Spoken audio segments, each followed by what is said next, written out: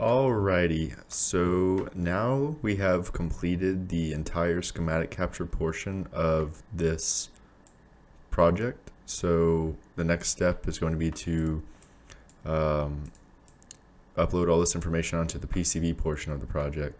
So just quick recap of what I did. So after I finished the schematic portion, I just kept going over it and looking at it uh, just multiple times to make sure everything was right, looking for any mistakes.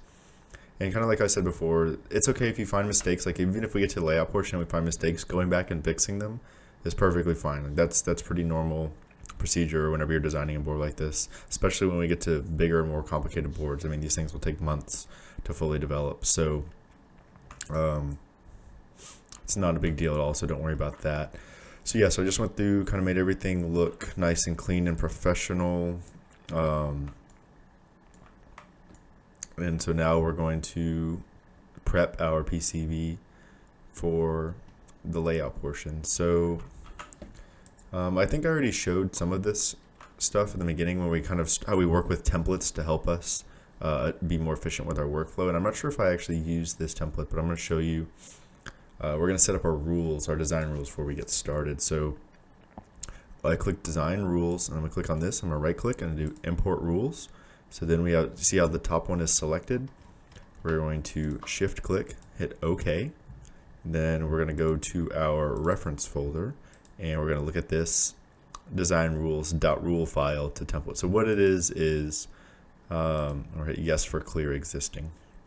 So what it what what it, what it is is so previously I went in and created and just did you know edit modified this rules table and then what I did is hit uh, right click export rules and so then I just saved them so now I can just open I can open that rules file and it changes all of the all the rules that I want to to my liking right um, so right now what we're actually working with so the only rule like how would I say it? So I, the way I envision PCB design rules is in layers. So like you'll have like a, a DFM layer, um, like a design for safety, design for validation layer, and then like a DFX layer maybe, which is like design for excellence. Um, and so kind of what you do is you add more and more layer, quote unquote, layers of rules so that your board becomes closer and closer to like a perfect board, right?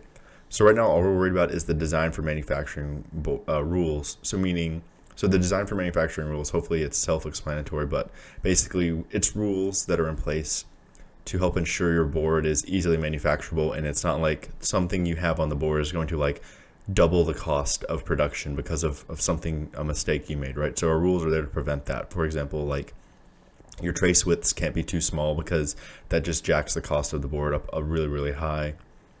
Um, stuff like having too small holes or vias that uh, increases the cost a significant amount so stuff like that is kind of what the rules are set up for right now and that's all we're going to worry about and as we progress as engineers, we'll start adding more and more layers of rules. So, um, you know, our board comes closer and closer to like perfection. So now that we have all the rules set up, let's go ahead and uh, modify the board size. So the previous project, we didn't really have a board size. So what we did was we just created our PCB on a large board and we just shrunk the board to fit the circuit however we had it. But let's, uh, this time, what's, what's pretty more common is you'll have like the mechanical engineering team will come back to you and say, okay, here's the mechanical enclosure that you have to fit your board in because of you know product specifications that are given to us by the product design team or the product development team. So like marketing and stuff like we want it, we want the apple computer to look like this.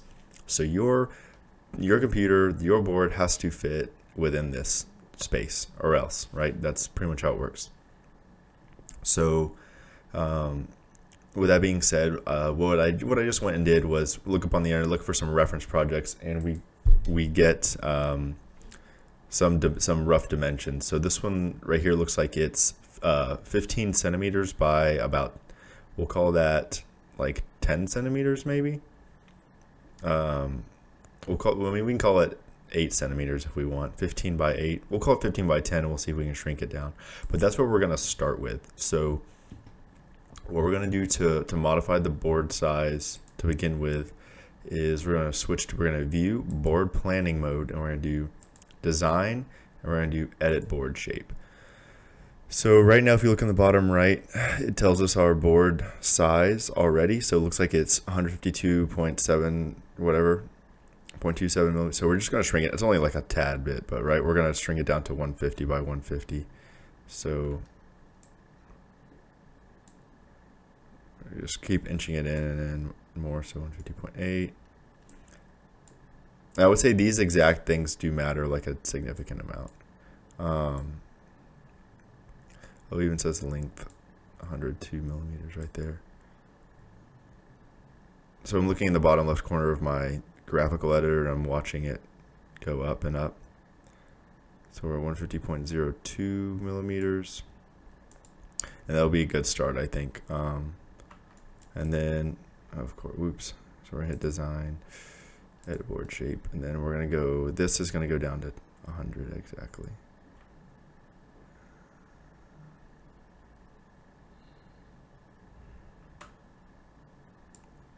Point three. Okay. Looks looks good. Okay, so that's a good place to start. Um, okay, so now we have our board all set up. So now we're good to start placing PCB components and everything else on that. So this is this is a good starting point. Um, yeah, so I think that's pretty much where I'll end this video. In the next video, I'll, I'll go over some tips about how to actually begin the phase of actually doing the PCB layout. So if this video helped you, please drop a like and um, that really helps my channel out. So I really appreciate that.